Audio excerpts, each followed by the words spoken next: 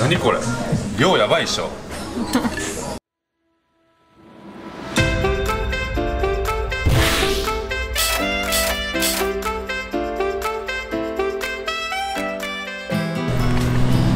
はい皆さんこんにちは。みなです。タカです。エルティブログです。はいということで今ウルグアイに入国しました。はい、ブエノスアイレスからめちゃくちゃ近くそうなんだよね。ちょうどね今朝ボートに乗って船に乗ってねブエノスアイレスからウルグアイのサクラメントっていう街にやってきました。もう本当にね小1時間まあ1時間2時間ぐらい1時間半ぐらいスピードボートに乗るとやってこれるっていうめちゃめちゃ近いところです。で今ねお昼の2時なんだけどちょっとお腹空いたのでねレストランを探してます。あここ？行きましょう僕ら現金がないので昼ご飯食べれません。アルゼンチンとウルグアイは違う通貨を使ってるのでこんだけ1時間で来れるのにまあ当たり前か。ということでまずは ATM で現金を下ろしてからレストラン探して飯食います。このサクラメントめちゃめちゃちっちゃい町なので、まあ、1日もあれば歩いて回れるっていう感じの町です。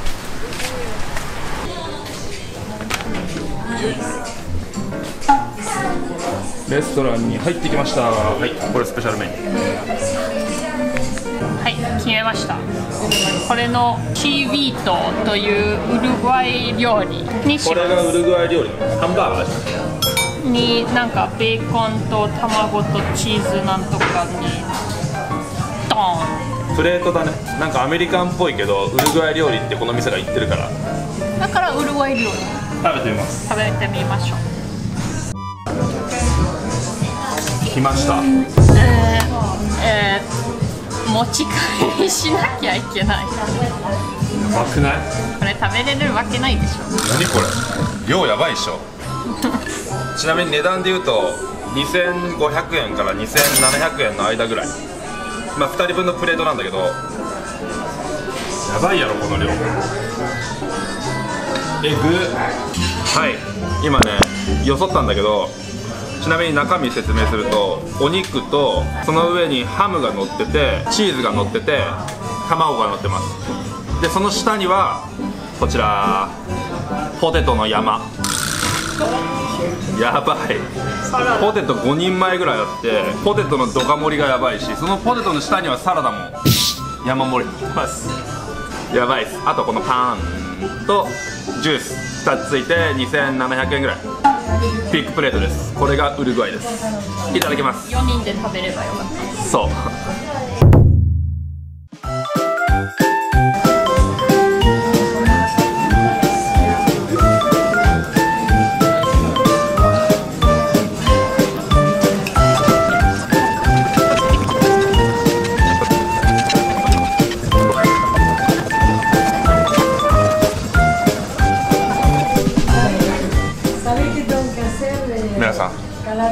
開始5分です全く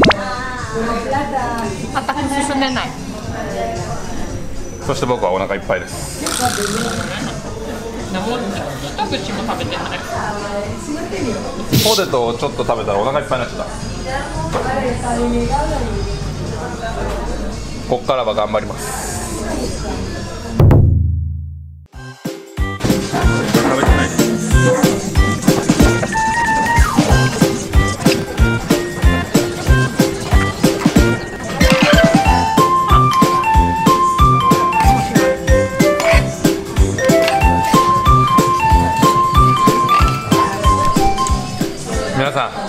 見てください。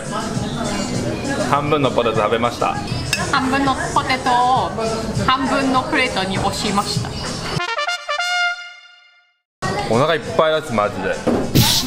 でもこれはね本当に美味しいね。美味しい。ポテトはもうもう何？ポテト。ポテト以外にもいろいろあるけど、タカがタカは食べてない。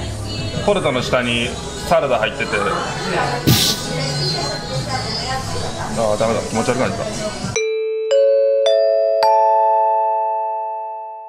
たまだ食べれる？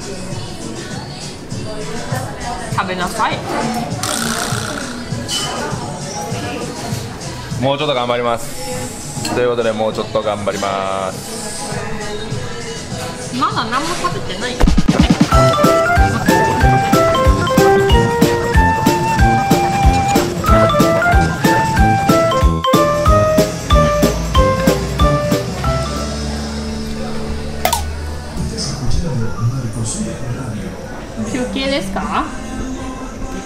おい取れた。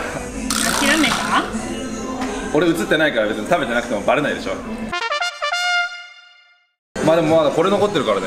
これはなんとか食べたいね。そう自分のところも食べれてないから。お腹いっぱいだよマジでももう胃がちっちゃくなったね。うそう日本にいる時めっちゃ食べれたのにね。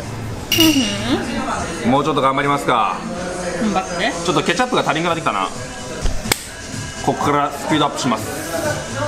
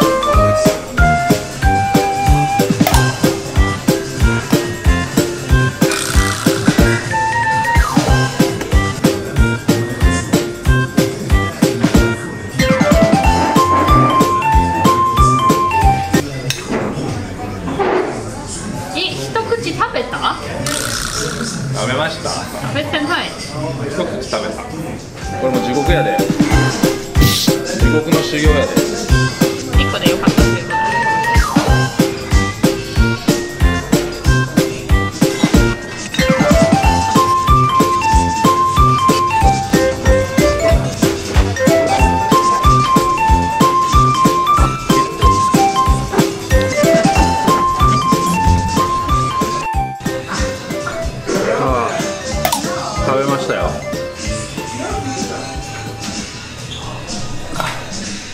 食べてないあとはポテト。食べてない。ポテト食うぞ今から。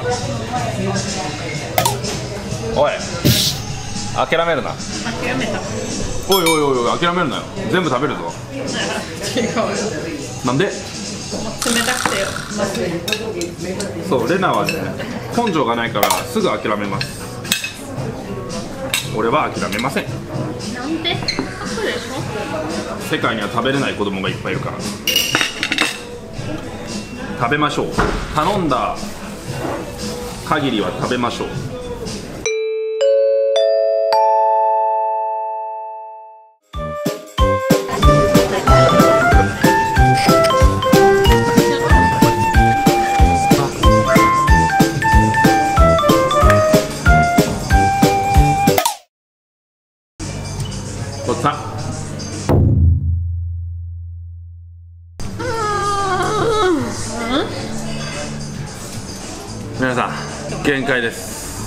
勘弁してください。